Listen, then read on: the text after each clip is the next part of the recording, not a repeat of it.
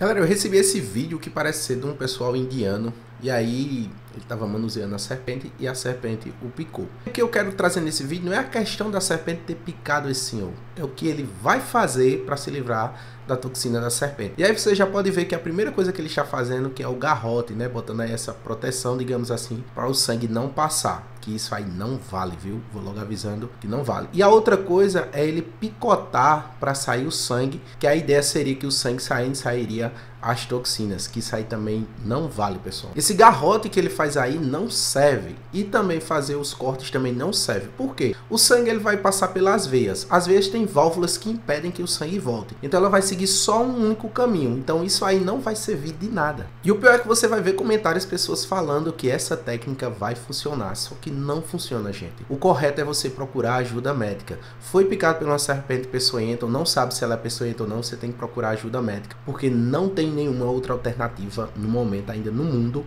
para inibir peçonha de serpentes. Se você sofreu um acidente, ou nesse caso aí uma imprudência, né, não independente do que aconteceu, você tem que procurar ajuda médica, você tem que procurar o hospital, porque a única forma de combater a peçonha de uma serpente é com o soro antiofídico. Nada de fazer garrote, nada de fazer cortes, nada de tentar chupar o veneno, nada disso vai funcionar. A única coisa que funciona até hoje é o soro antiofídico. Então se você gostou, não esquece de deixar teu joinha e compartilhar esse vídeo para que mais pessoas aprendam sobre isso.